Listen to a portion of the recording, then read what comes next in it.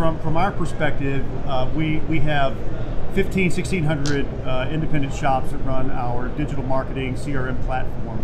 We take that repair order data, which gives us a lot of insights into what's happening with vehicles and what's happening with parts failure rates. When you marry that with our industry data warehouse, it really kicks out some really cool predictive analytics around what's happening with vehicles in the marketplace, what's happening at specific um, you know, chronological life cycles of those vehicles and, and when and where you might need, uh, need to stock parts in order to, to provide those repairs to those vehicles.